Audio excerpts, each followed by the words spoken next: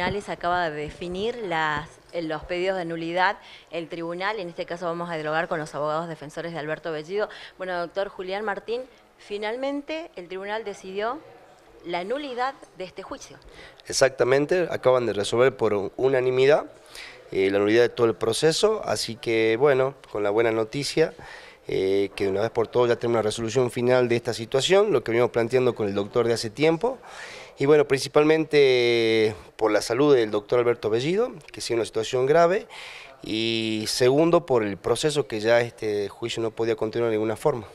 Ahora, ¿en qué cambió, doctor? Porque ustedes en más de una oportunidad esgrimieron los mismos argumentos que la Fiscalía y no se hizo lugar y el día de hoy el, eh, superior, el tribunal en este caso, decidió, este, sí, llevar adelante la nulidad del juicio.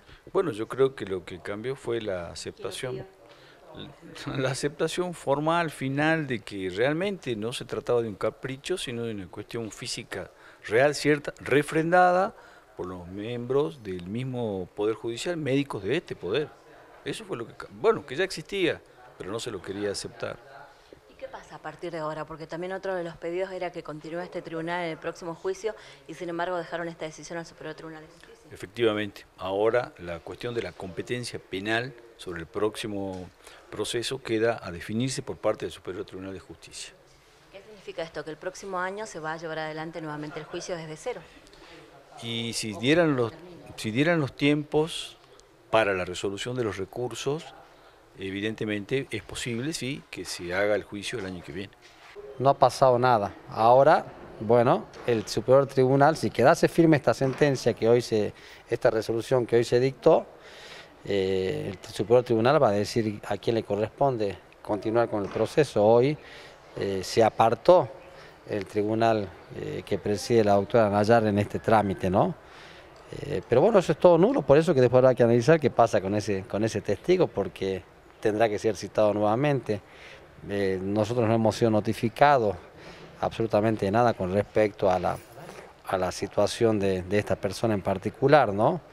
Tengo entendido que hay algunos planteos ahí del Ministerio Público de la acusación, pero bueno, a mí me corresponde hacer la defensa técnica de, mi cliente, Romero, y voy a analizar ahora si corresponde, si, si vamos o no a, a casar la, la sentencia en el agravio este que hemos fundado hoy de que la nulidad se debe declarar desde el inicio.